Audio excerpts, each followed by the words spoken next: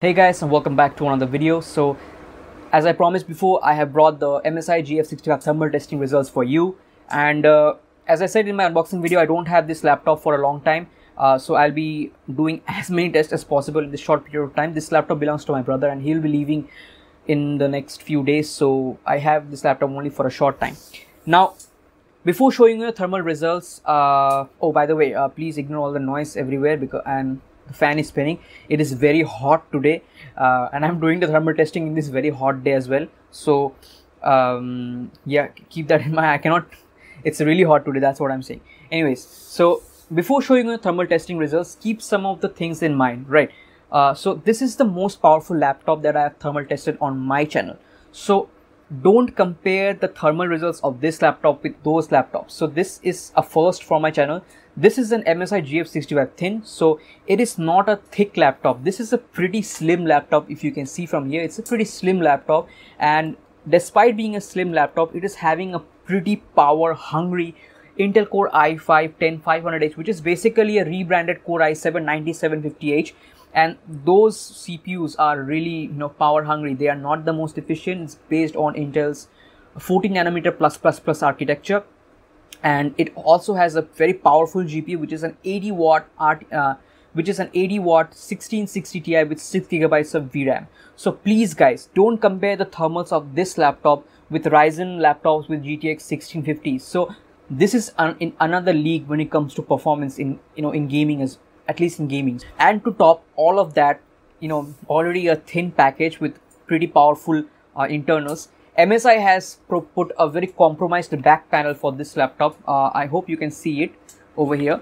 Uh, like this laptop, it has a very powerful thermal solution. It actually has the exact thermal solution from the MSI GL65. So the MSI GL series, which is much more expensive than the GF series, it shares the same thermal solution with this laptop. However, the problem is uh, even though this has so many copper heat pipes, you know, five to six copper heat pipes and pretty far, pretty powerful fans, MSI has put this very compromised back panel on this one, which has a which has vents, but it is not on top of the actual fans. As a result, when the fans spin, it is not able to pull as much airflow as it can, as it potentially can in the MSI GL series. So, uh, if MSI could have just, you know, put two simple air vents on top of the fans itself, it would have made a huge difference to thermals of this laptop. But unfortunately, MSI hasn't done that. So yeah, I am quite disappointed. I don't know why uh, companies do this kind of segregation between their products. Uh, this thing is compromised where the MSI GL series is not compromised. So without any further ado, let's get to the thermal results of this laptop. So yeah, let's switch screens. So in my uh, so in my uh, unboxing video, I did show you the BIOS. So once again, this laptop is super customizable. MSI has done a great job with the BIOS. It has a ton of features in it. So um, I have shown you already the settings in the BIOS. So so this so this MSI laptop does support undervolting. So uh, most of the Intel 10 Gen processors they don't support undervolting, but most of the MSI laptops do support undervolting. I think uh, Lenovo also provides undervolting support, but yeah. Uh, so in this laptop you can enable uh, undervolting inside the BIOS itself. You can apply your uh, undervolting. Uh, you can you can offset the voltage inside the BIOS itself. You can change the clock speeds inside the BIOS itself. So you can do all that. But yeah, uh, you just have to. What you have to do is you have to go into the BIOS and enable the advanced BIOS. I think the I think the it's it's right control, right shift, uh, right alt, and F2. Yeah. So that's what you have to do and to enable the advanced BIOS. So inside the advanced BIOS, you have a ton ton of features. So uh, you can change your performance control. You can you can you can you know you can enable uh, turbo max max technology. You can disable it. You can change your tdp configurations. So you have your pl1 limit pl2 limit. You have got, you got your pl1 time window. You can change that as well.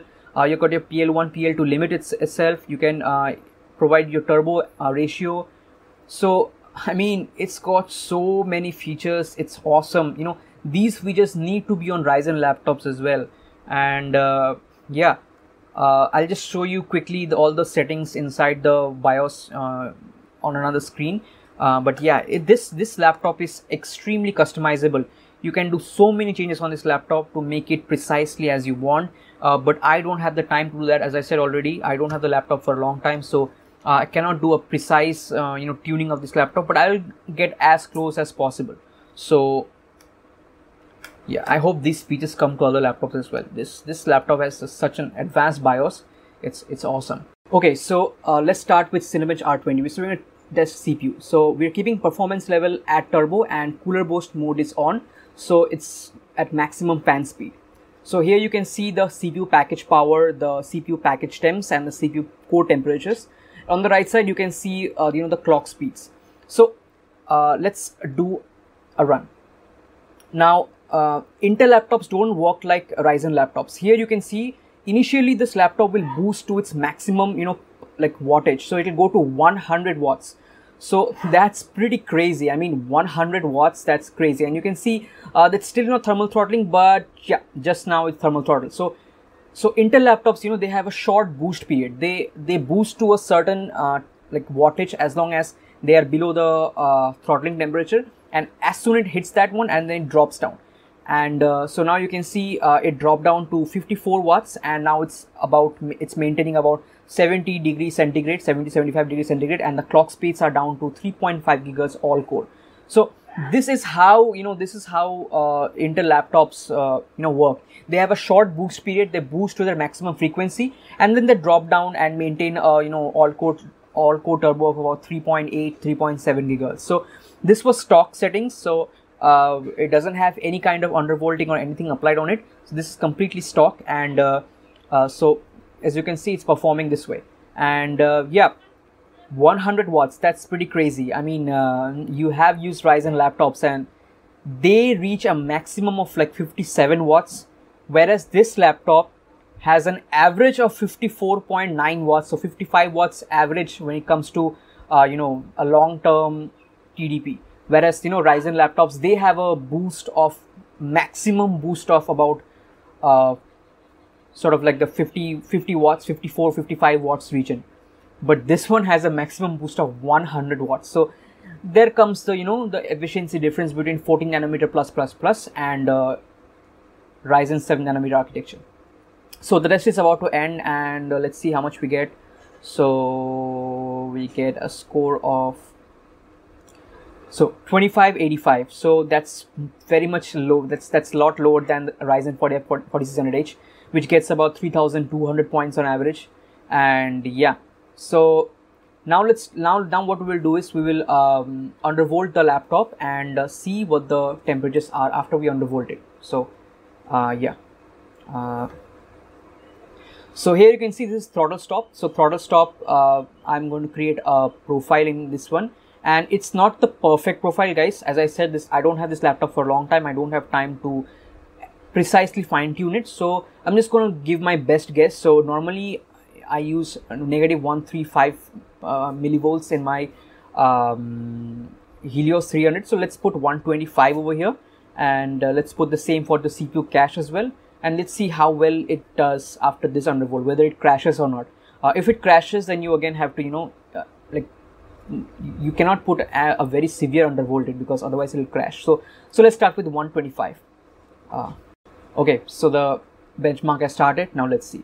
So as you can see since it's we have undervolted it it will not reach that 100 uh, watt peak. So it will slowly slowly rise to i think about uh, 80 watt and stabilize there until the boost period expires. The boost period is about uh, 30 seconds where you can see all the cores are clocked at the maximum 4.2 gigahertz and there is no thermal throttling whatsoever. Make sure keep in mind the maximum fans are enabled over here as well and you can see there is no thermal throttling. It is still maintaining 4.2 gigahertz all core and there you go. There's the boost period. The boost period has expired now. There is no thermal throttling happening and the boost period has expired and now it is maintaining 55 watts on average and you the difference you can see previously when it was maintaining a 55 watt average it could only you know have a clock speed of all core clock speed of 3.49 gigahertz but now after applying the undervolt you can see it is maintaining an average clock speed of 3.7 to 3.8 gigahertz across all cores. So this is the advantage of undervolting your Intel CPU. It's it's it's a sad thing that it is not yet available for Ryzen laptops. Although Ryzen laptops don't need these things because they're already so efficient. Uh, but yeah, if this feature was available for Ryzen laptops, it is available for Ryzen desktop CPUs. but it is not yet enabled for Ryzen Mobile. But this is an amazing feature. So you can see that with the undervolt applied, uh, the the clock speeds are high, the temperatures are low, and package power is also has has also dropped. So that's why I always recommend you undervolt your laptop, Intel laptop. I have been using an Intel laptop for a long time, and it's undervolted from day one. So yeah, you can see this is the benefit of undervolting, and you can see the test is about to get over. Let's see what score we get. Um, 2807 that's about a 10% boost right? Over 2885 so that's substantial. So uh, let's see how undervolting affects gaming as well so for testing temps while gaming, I ran Far Cry 5 benchmark repeatedly and it's clear that we can see a massive improvement in temperatures with the undervolt applied. Far Cry 5 is quite CPU intensive and undervolting the laptop has led to drop in temperatures and rock solid clock speeds.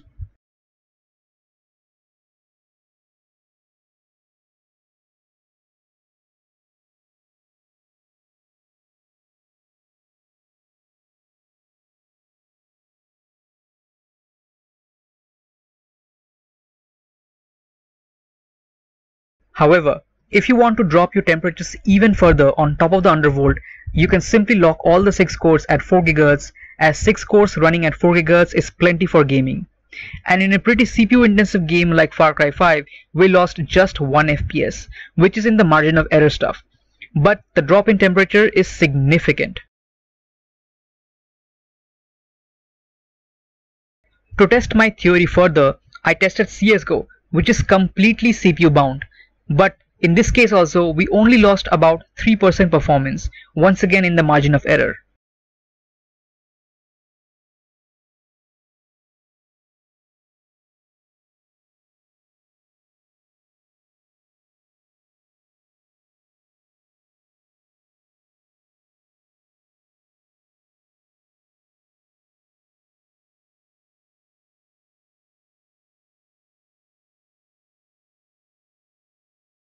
Lastly, I tested Shadow of the Tomb Raider, which is a GPU bound game and we got exactly the same performance, which was expected.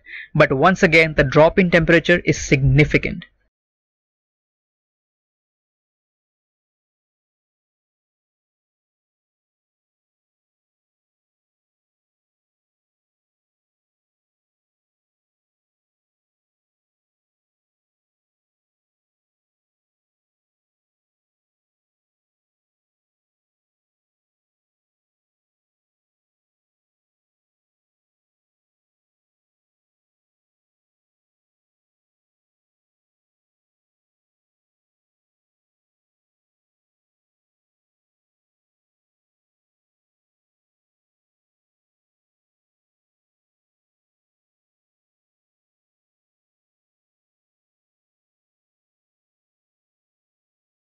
So after testing a bit, I feel these are the best throttle stop settings for my unit.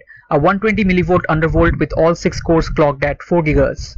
These settings provide the best balance of temperatures to performance in my case. Now remember guys, my undervolt settings may not apply perfectly in your case as not all chips are made equal and a lot depends on silicon lottery. So I recommend you guys to set up your undervolt profiles according to your needs and the games you play. So that's it for this video guys. Thank you so thank you so much for watching thermal testing video. Uh, the full review will be coming along with the game test. So I won't be able to test a lot of games for this laptop unfortunately, but I'll be testing the most you know uh, resource intensive intensive games like uh, you know Shadow of the Tomb Raider or uh, Horizon Zero Dawn, Red Dead Redemption 2.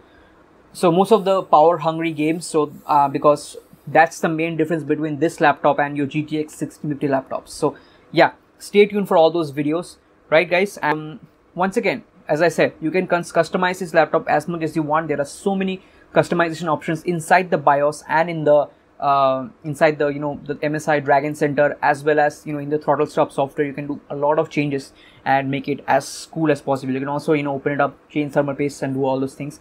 This is a truly uh, you know enthusiast laptop. People those who have tight budgets uh, this laptop is recommended to those people who want the best possible FPS but at the lowest price possible.